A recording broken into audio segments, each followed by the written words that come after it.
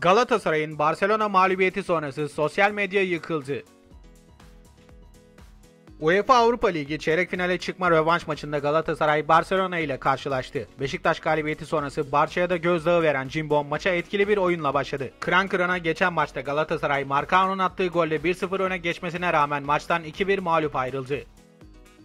Nef Arena Ali Samiyen Stadyumunu tıklım tıklım dolduran cimbomlu taraftarlar Barcelona'nın çok nadir görülecek zaman geçirme, topa sert girme ve her fırsatta karara itiraz etme gibi durumlarına tanık oldu. Birçok spor Barcelona kendini kupa finalinde hissetti, korkudan zaman geçirmeye başladılar şeklinde eleştiride bulundu.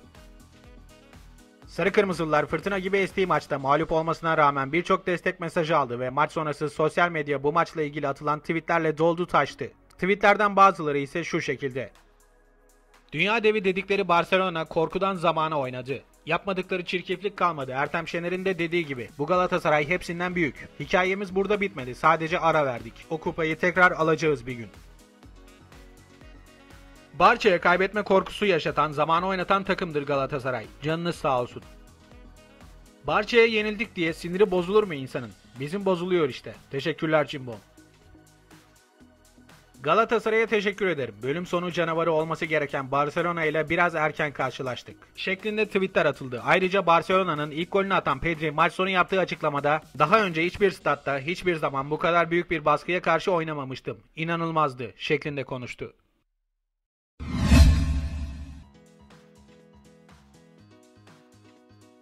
Galatasaray'dan Beşiktaş'a dev transfer çalımı. Beşiktaş'ın anlaşamadığı Kayların için Galatasaray devreye girdi. Siyah beyazlıların yaptığı tüm teklifleri reddeden ve 2,5 milyon euro maaşla direten Kayların için Galatasaray oyuncunun menajeriyle görüştü. Maaş konusunda anlaşma sağlanması halinde transferin gerçekleşmesi beklenirken Sarı Kırmızılar Kanadalı'yı kadrosuna katarak Kara Kartal'ın Raşit Gezal ve Getson Fernandes transferlerine karşılık vermek istiyor. Kayların için Galatasaray'dan sürpriz bir hamle geldi. Sarı Kırmızılar Beşiktaş'ta yeni sözleşme imzalamaya yanaşmayan Kaylar'ın menajeriyle temasa geçti. Tarafların maaş konusunda anlaşma sağlaması halinde transferin gerçekleşmesi bekleniyor.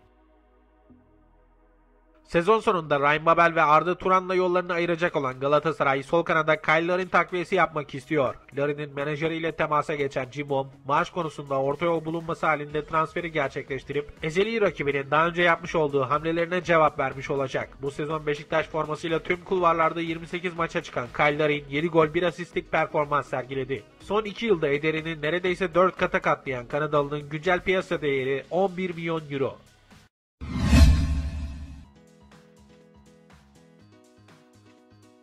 Galatasaray'da Kerem Aktürkoğlu sezon sonu gidiyor.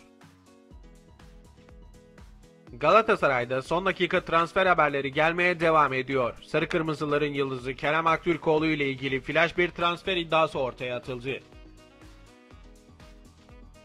Galatasaray'ın en iyisi olan Kerem Aktürkoğlu için Avrupa kulüpleri sıraya girdi. Almanya ve Fransa'dan sonra İngiltere'den de talebi çıkan Kerem'i Brentford yakından takip ediyor. Halil Dervişoğlu'nu kiraladığı Galatasaray'ın maçlarını izleyen İngiliz scoutlar Kerem'e hayran oldu. Brentford 23 yaşındaki yıldızla ilgili Halil'den bilgi aldı.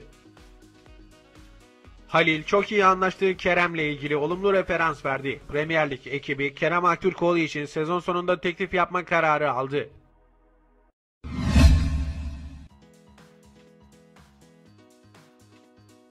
Erman Toroğlu Galatasaray'ı öve öve bitiremedi.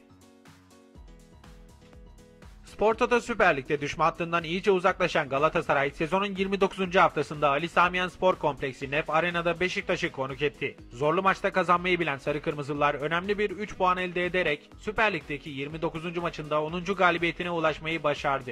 İstanbul'da saat 20'de başlayan ve yayıncı kuruluş Bein Sports tarafından canlı yayınlanan karşılaşmaya Galatasaray iddialı bir 11 ile başladı. Geçtiğimiz maçta Barcelona ile deplasmanda berabere kalan Cimbom Beşiktaş'ı yenerek moral artırdı.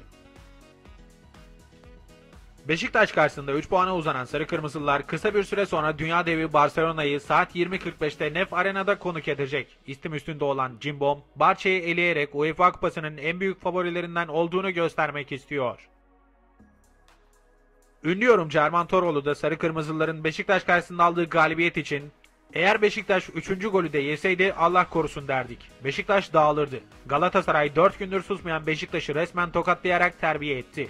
Bu Galatasaray Barcelona'yı elerse şaşırmam ifadelerini kullandı. Galatasaray'ın Barcelona maçına büyük bir istekle çıkacağı düşünülüyor. Peki sizce Galatasaray dünya devi Barcelona'yı eleyebilecek mi? Galatasaray eler diyenler videoyu beğensin. Kaybeder ya da berabere kalır diyenler yorumlara sebebini ve tahmin ettiği maç skorunu yazabilir.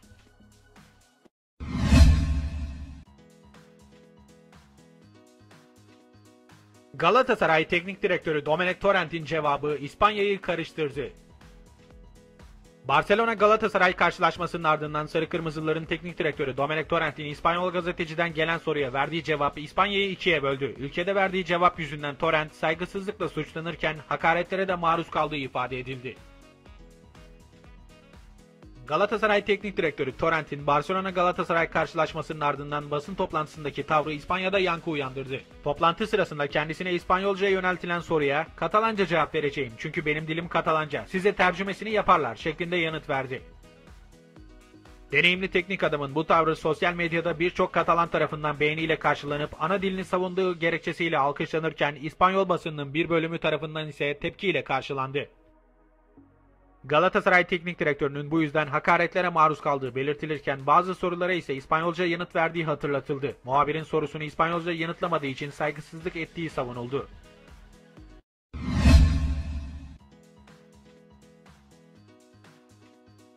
Atletico Madrid forması giyen Luis Suarez'den Galatasaray'a övgü.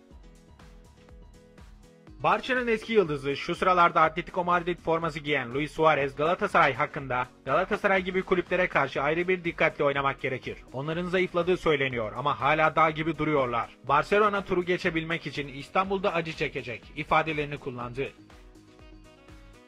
Liverpool ve Barcelona'nın eski starı Atletico Madrid forması giyen Luis Suarez, İspanyol As gazetesine Nou Camp'taki maçı değerlendirdi. Uruguaylı Yıldız, Avrupa maçları her zaman zorlu geçmiştir. Özellikle Galatasaray gibi kulüplere karşı ayrı bir dikkatli oynamak gerekir. Onların zayıfladığı söyleniyor ancak sahada hala dağ gibi duruyorlar.